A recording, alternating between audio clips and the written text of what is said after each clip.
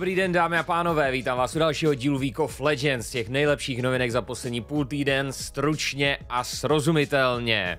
Jdeme na to. Na internetu se množí záběry velkého množství pochodujících ukrajinských vojáků. Jsou jich obrovské masy. Takže už konečně bude ta jarní protiofenzíva. Já mám pocit, že ji tady hypuju už několik měsíců a furt nic sakra. Šéf ukrajinské rozvědky tvrdí, že již toto jaro ukrajinská armáda vstoupí na Krym. Mám pocit, že něco takového tvrdili v prosinci, že to bude do konce roku. Podle uniklých amerických dokumentů Rusové u svých světoznámých specnác utrpěli obrovské ztráty. Některé jednotky až 95% vojáků. Prý kvůli tomu, že velitele posílali na front frontu, protože nevěřili běžným vojákům, že splní bojové úkoly. Ruští zákonodárci přišli s novinkou, která posílá potenciálním vojákům povolávací listinu elektronicky mailem přes apku. V moment, co je odeslána, je brána, že jim přišla i když si ji nepřečetli. Aby nezdrhli do Gruzy jako minule, automaticky v ten moment jim zaniká možnost vycestovat z Ruska. A pokud se do dvou týdnů nedostaví na vojenskou zprávu, co se klidně může stát, protože si tu zprávu ani nemusí přečíst, stávají se z nich druhořadí občané. Nebudou moci řídit auto, obchodovat s nemovitostmi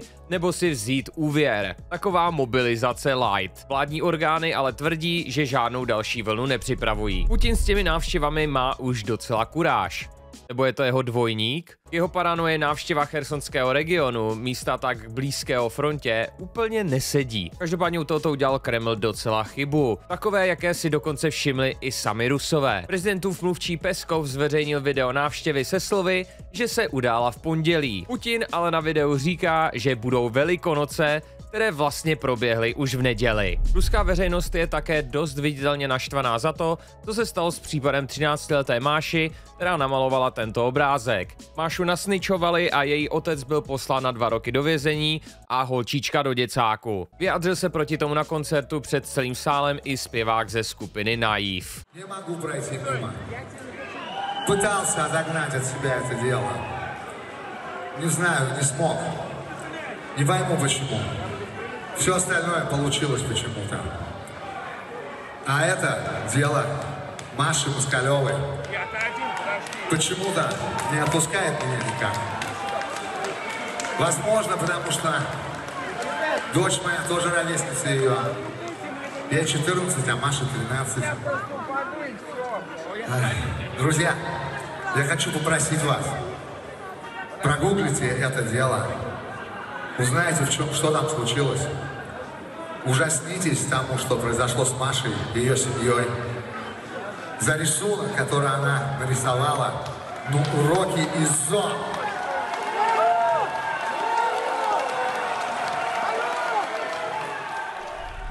Další osoba vypadla náhodou z okna. Tentokrát to byla 29-letá trojnásobná ruská mistrině v házenkářství Viktoria Divakova. Napětí mezi ortodoxními a muslimskými Rusy pokračuje. Někdo v Moskvě natočil, jak pálí Korán. Kadyrov to označil za provokaci liberálů a ukrajinské tajné služby. Objevily se opět zprávy o slovenských předaných stíhačkách MiG-29. Čtyři už prý na Ukrajině lítá, takže možná ty sabotáže nějak opravili. Slovensko, Polsko a Maďarsko byly tento týden solty kvůli zemědělskému dovozu z Ukrajiny. EU toto zboží totiž neprovádí clem a tak se prodává na trhu za bezkonkurenční ceny. Nejdřív dovoz zakázali, ale EU jim slíbila, že ztrátu zemědělcům vynahradí. Podle uniklých dokumentů Spojených států mají plánované dary egyptských raket Rusku svoji dohru. Američani si s nimi v březnu popovídali a teď místo toho vyrábějí dělostřelecké granáty pro Ukrajinu. Diplomacie je stabilní asi jako ve hře o trůny. Brazilský prezident se vrátil z návštěvy Číny a stal se z něj chcimír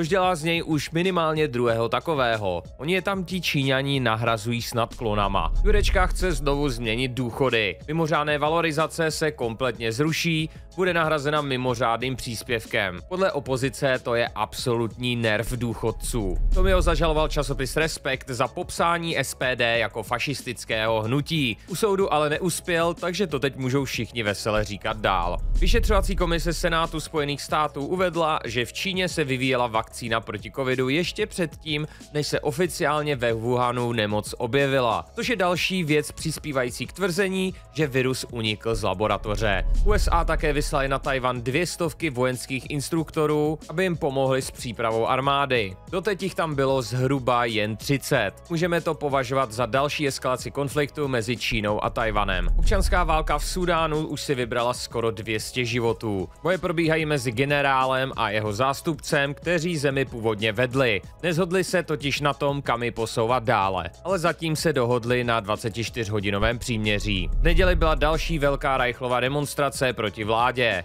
ta, o které sliboval, že bude blokovat její budovy. Avizovali 300 tisíc účastníků, zúčastnilo se jich ale maximálně 30 tisíc. A to podle ruské spravodajské agentury takže reálná čísla budou ještě menší. Demonstraci už typicky přišli trolit zastánci Ukrajinců k Národnímu muzeu. Běžte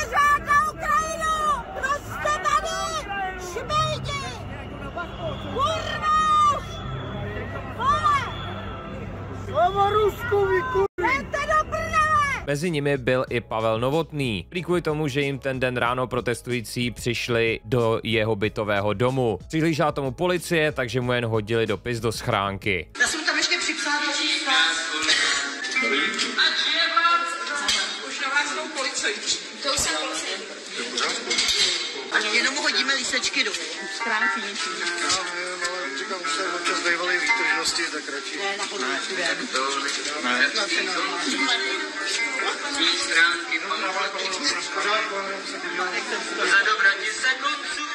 Starostu Řepory vyspovídal i populární novinář Radek Bartoníček. Já vím, že si mám mluvím špatně. To jsem se vás právě chtěl Mluvím si mám zeptat. špatně, já si to uvědomuji, já to vím celou tu dobu. A já možná potřebuji je vidět, je vidět, protože to jsou opravdu to jsou fakt chudáci, ty lidi jsou hloupí, kolikrát vzdělaný, a to je jedno. Manipuluje chytrý lidi. A já si uvědomuji, že ty lidi, kterým nadávám, že to je špatně. Já to Přesně, vím. přesně. Co jsem se vás chtěl? Přestanete teda s tím nadáváním? Já nemůžu toto slíbit, já ta, takovou morální silu sobě nemám, ale aspoň o tom přemýšlím, aspoň jsem schopný o tom mluvit. Uvědomuji si to, děláme kampaň proti dezinformacím, bojovat s těmi povinností každého z vás, ale je pravda, že to, co dělám já, je špatně. Ale dělám to dál. Ale proč, ale proč to děláte? Já jim prostě, já, já, já, já mám tu potřebu jim to vmést do očí, že pravda je jenom jedna, pane Bartoníčku.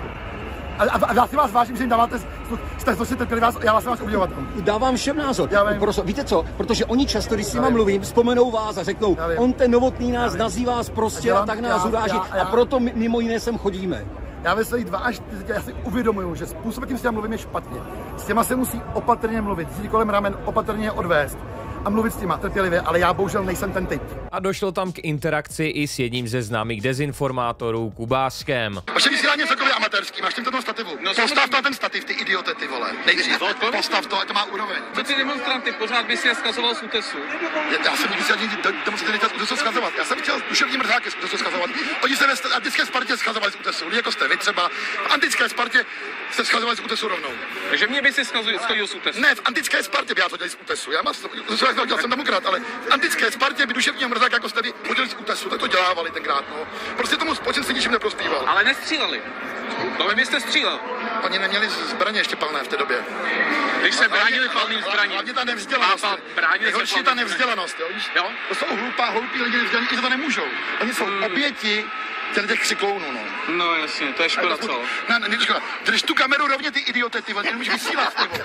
Pane bože, ty, to i ten raptor, ty vole, vysílá. Strašně se mě setřel teď. Já o tom nepochybuju. Já si myslím, že tohle to je věc, kdy jak se tady kolem tebe lidi smějou, jak jsi prostě na ostatní takový jako tvrdý a ráznej a prostě jsi jako ty idiot, a to, tak, tak, taky to musíš strašně zvedat jako Já jsem ti řekl jedinou vulgaritu za prvé. Za druhé obdivuju, že jsi se mezi nás přišel. To za to za druhé. Za třetí máme svobodu médií. eh, Můžeme, ty, ty lidi můžou být šťastní, si můžou vybírat z médií, který budou sledovat to. Většina států nemá na světě, v Rusku dokonce novináře střílej. A vám jsem neřekl... V Turecku taky, no. A tobě jsem neřekl jediný z prostý slovo, ty čurá. Poté se lidé sebrali a začal pochod k budově vlády.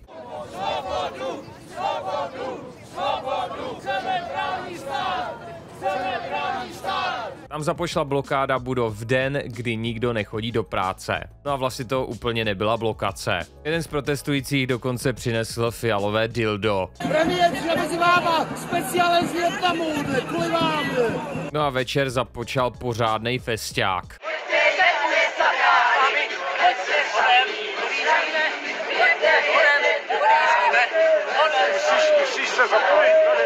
Já už jsem ho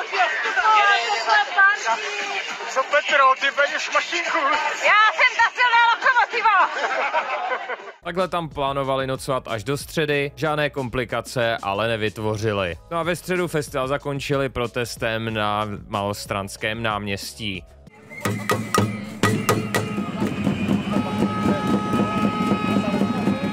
A nikdy nás nikdo neposlouchal. Nabízeli jsme své odborníky a nabízíme je dnes. Nabízeli jsme nějaké varianty řešení současné situace. Nabízíme je dnes a stále je k nám vláda hluchá. Televize Fox News papouškovala Trumpa s jeho tvrzeními, že volby byly sfalšovány. Firma Dominion, která zprostředkovávala stroje na počítání hlasů, je za to zažalovala. A teď, když byl soud na spadnutí, tak se s nimi Fox radši mimosoudně vyrovnal. Což potvrzuje, že ani oni sami si ve svém tvrzení nevěřili dost na to, aby to zkusili a radši jim zaplatili v přepočtu 17 miliard korun. Spojenými státy otřásl případ mladíka, který měl někoho vyzvednout, ale bohužel si spletl dům, na který zazvonil. To se mu silně vymstilo. To, že byl černý možná trochu taky, protože v tom domě žil starý patriot, který ho za to střelil z okna. Teenager ale naštěstí přežil. V Číně neměli úplně dobrý půl týden. Tento akrobatický manželský pár měl vystoupení, během kterému muži žena vyklouzla z rukou a po pádu zemřela. Koukat na svého partnera, jak vám takhle zmizí před očima, musí být naprosto devastující. Dále v Pekingu chytla plamenem nemocnice, Lidi vylízali ven okny a slaňovali dolů po prostěradlech. 29 z nich se to ale nepodařilo. V čínském cirkusu unikly lvy během vystoupení z klece. Asi protože tu klec měli na kolečkách, pohodila jim od krabice, ze které lvy vypustili. To je úroveň fakt. Naštěstí se ale nikomu nic nestalo a kočičky byly po 15 minutách odchyceny.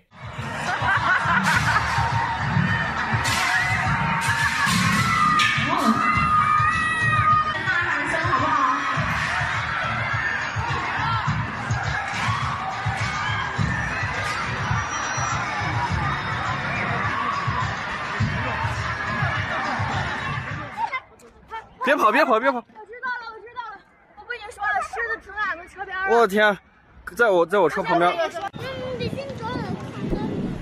Druhý medvěd z večerníčku Méďové Matěj zemřel ve věku 23 let. Zbývá už jen Kuba. Bud Light špatně odhadl demografii svých zákazníků a podpořil speciální edicí plechovek trans influencerku Dylan Mulvaney. Příležitost jednoho roku její proměny v ženu. Což američtí vlastenci vzali jako naprostou zradu a spustil se masivní bojkot. Na internetech se objevila záplava videí, kde se Bud Light splachuje nebo rovnou střílí ze samopalu. A výrazně klesly prodeje, nejvíce u čepovaného piva a to až o 50%. Vtipné také že konglomerát se to pokusil zachránit svou druhou značkou Budweiser, kde všem zhrzeným patriotům připravil pořádnou reklamu. Found in a community where a handshake is a sure contract. Brewed for those who found opportunity in challenge and hope in tomorrow. Raised by generations, willing to sip, share, risk, remember. This is a story bigger than beer. This is the story of the American spirit. Arnold Schwarzenegger nakonec vyplnil díru, kterou neměl. Už zase. Naštěstí z téhle nevyskočí další levoboček, jen se z toho nakonec vyklubal servisní příkop pro práce plynárenské společnosti. Město ho bude muset nechat znovu vykopat. Naše české hokejistky se opět umístily třetí na mistrovství světa v ledním hokeji.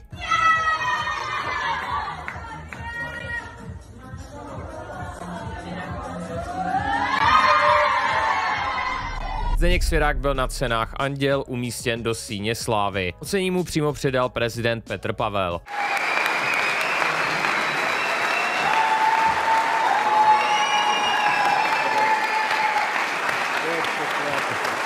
Děkuji.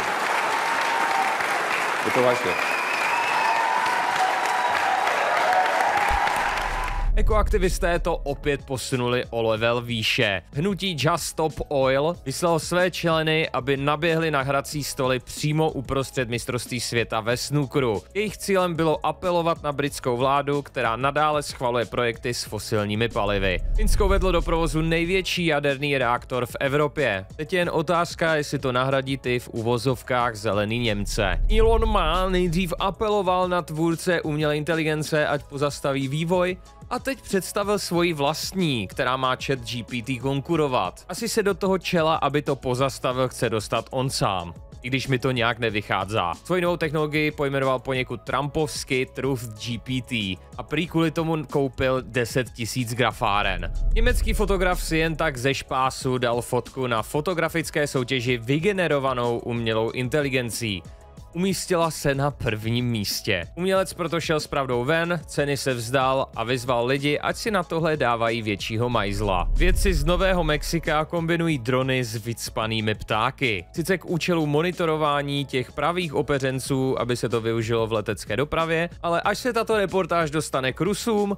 tak se spustí speciální vojenská operace na všechno ptactvo, aby náhodou nějaký z těch ptáků nebyl ukrajinský dron. Mario film překonal další rekord a předběhl Warcraft v tom být nejvýdělečnějším videoherním filmem vůbec. Rowlingová si zase namastí kapsu. Warner Bros. naplácel v klasickou Fortniteovou multiplayer live service formuli na Fanfrpal. Do testu hry se dá zaregistrovat už nyní. Tvůrci Pokémon Go Niantic začali spolupracovat s Capcomem na podobné hře akorát v Monster Hunteru. Jsem zvědavý, jak lidi budou zvládat dodžovat a sekat ve hře, zatímco budou dodžovat úchyly a zloděje někde ve tři ráno v parku. Tak a nyní to nejlepší z československého Twitche. Week of the week. Uh, jedna, dva, tři, čtyři, pět, šest, sedm, osm. Ne!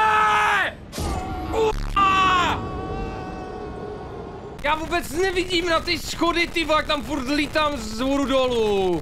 V San Andreasku tam rotíš svůj, svůj hůd, svůj Grove Street Gang. se tam někdo sekne.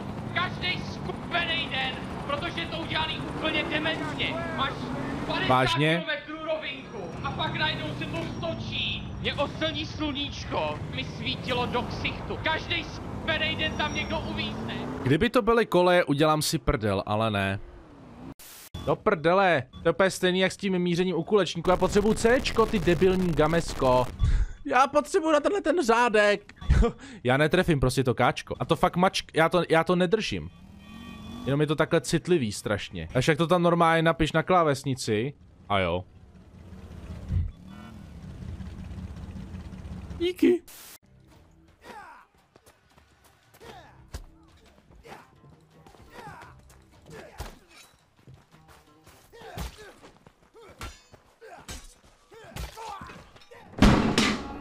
Ne! Do prdele! A ten koberec je šli hezký, kámo. Ten bych si vzal i domů. Je to hra úplně, že Fashion Masters. Graphic design. Kámo, já si nemůžu kleknout.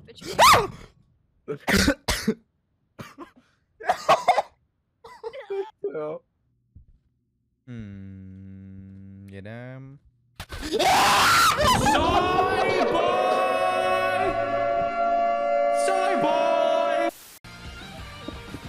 Ne!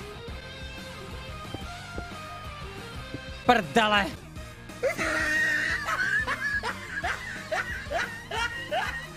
Čete, prosím vás, dejte permušen, co z toho udělají klip. Já se fakt poseru. Jak jsme, to, to, jak jsme to kurva povedlo tohleto. Dobře, lidi, to bychom měli všechno, jinak eh, všem těm lidem, co se mě přišli po minulém díle hnedka ptát na ty Pringles plechovky za jednostní body, tak už to máme spuštěné. Uh, stojí nějak 150 tisíc věrnostních bodů na Twitchi a jsou tam dvě za den, takže musíte mít hodně bodíků a být hodně ostražití, ale jako za stolik jich nemáme. Máme jich 15 na měsíc a bude to, myslím, trvat celý rok, tak možná tu příležitost získáte, ale musíte se snažit. To bude všechno, děkuji za zhlédnutí, děkuji za podporu, uvidíme se v neděli. Mějte se krásně a ahoj.